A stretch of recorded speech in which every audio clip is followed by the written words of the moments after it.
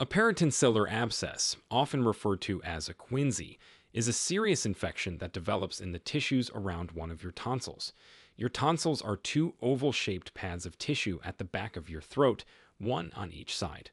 They're part of your body's immune system, helping to fight off infections. The space around these tonsils is called the peritonsillar area, and this is where the abscess forms. So, what exactly is an abscess? An abscess is essentially a collection or a pocket of pus that forms when your body's immune system tries to wall off an infection. In the case of a peritonsillar abscess, this pocket of pus develops between the tonsil and the wall of the throat. It's usually on one side only, though in rare cases it can occur on both sides. Peritonsillar abscesses are relatively common, especially among young adults and adolescents. They're most frequently seen in people between the ages of 20 and 40, but they can occur at any age. It's estimated that in the United States, there are about 45,000 cases of peritonsillar abscess each year. That might sound like a lot, but when you consider the total population, it's actually not super common. Still, it's frequent enough that most ear, nose, and throat doctors are very familiar with treating this condition. Causes of peritonsillar abscess. Most often, it starts as a complication of tonsillitis, which is an infection of the tonsils themselves. Typically, the bacteria that cause tonsillitis manage to penetrate deeper into the surrounding tissues, leading to the formation of an abscess. The most common bacteria involved are Streptococcus pyogenes, which is the same bug that causes strep throat, but other bacteria can be involved too, including anaerobic bacteria that thrive in low oxygen environments. There are several factors that can increase your risk of developing a peritonsillar abscess. Smoking is a big one. It irritates the throat and can make you more susceptible to infections. Poor oral hygiene can also play a role, as it allows more bacteria to flourish in your mouth and throat. If you have a history of recurrent tonsillitis, you're at higher risk too. Some studies have also suggested that certain medical conditions that affect the immune system, like diabetes or HIV, might increase the risk. Symptoms of peritonsillar abscess. The symptoms usually develop over a few days and can be quite uncomfortable. One of the most noticeable symptoms is severe sore throat, typically on one side. This isn't just your common sore throat. People often describe it as extremely painful, especially when swallowing. In fact, the pain can be so bad that you might have trouble eating or drinking. Along with the throat pain, you'll likely have some swelling on the affected side. This swelling can be visible from the outside, making that side of your neck look bigger.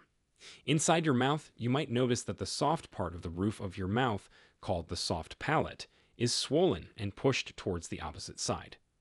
Your uvula, which is that dangly bit at the back of your throat, might also be pushed to the side. The pain and swelling can make it difficult to open your mouth fully, a condition doctors call trismus. You might also notice that your voice sounds different, often described as having a hot potato quality because it sounds like you're trying to talk with a hot potato in your mouth. Other symptoms can include fever, chills, and generally feeling unwell. You might have bad breath, and some people experience ear pain on the same side as the abscess. Swollen lymph nodes in your neck are also common. Before we continue, if you have been finding the video helpful so far, hit the like button and don't forget to subscribe and hit the bell icon so you don't miss more videos like this. Diagnosis of peritonsillar abscess. The first step in diagnosis is usually a physical examination. The doctor will look in your mouth and throat, checking for the characteristic swelling and displacement of structures like the soft palate and uvula. They'll also feel your neck for swollen lymph nodes. Just looking at the throat can often give a pretty good idea of whether an abscess is present. However, to confirm the diagnosis and locate the abscess precisely, the doctor might use a needle to attempt to draw out some pus, a procedure called needle aspiration. This serves two purposes. It confirms the presence of an abscess, as opposed to just cellulitis, and it can also be the first step in treatment by draining some of the pus. In some cases, especially if the diagnosis is uncertain or if complications are suspected, imaging studies might be used. A CT scan can show the exact location and size of the abscess, which can be helpful in planning treatment. Treatment for peritonsillar abscess. Once a peritonsillar abscess is diagnosed, treatment needs to happen promptly. The main goals of treatment are to drain the abscess, treat the infection, and manage symptoms.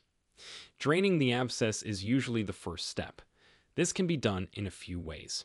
The simplest is needle aspiration, where a needle is inserted into the abscess to draw out the pus. Another option is incision and drainage, where a small cut is made to allow the pus to drain out. In some cases, particularly for larger or recurrent abscesses, a more extensive procedure called quinsy tonsillectomy might be performed, where the tonsil and the abscess are removed together. Alongside drainage, antibiotics are a crucial part of treatment. These are usually given intravenously at first, especially if the patient is admitted to the hospital. Common antibiotics used include penicillin or clindamycin, but the choice might depend on local patterns of antibiotic resistance. Once the patient starts improving, they can switch to oral antibiotics to complete the course of treatment. Pain management is another important aspect of treatment. Over the counter pain relievers like ibuprofen or acetaminophen can help, but stronger pain medications might be needed in some cases. Gargling with warm salt water can also provide some relief. In severe cases, or when there are complications, hospitalization might be necessary. This is more likely if you're having trouble swallowing liquids, if there are signs the infection might be spreading, or if you have other medical conditions that make outpatient management risky. After the initial treatment, most people start feeling better within a day or two, but full recovery can take a couple of weeks. During this time, it's important to stay hydrated, rest, and complete the full course of antibiotics, even if you're feeling better. For some people, especially those who have recurrent tonsillitis or repeated peritonsillar abscesses, the doctor might recommend a tonsillectomy or surgical removal of the tonsils to prevent future episodes. This decision is usually made on a case by case basis, considering factors like the frequency of infections and the patient's overall health. It's worth mentioning that while peritonsillar abscesses can be quite painful and potentially serious, they're generally treatable with good outcomes. However, if left untreated, they can lead to complications. The infection can spread to nearby areas, potentially leading to a deeper neck infection or, in rare cases, affecting the airway.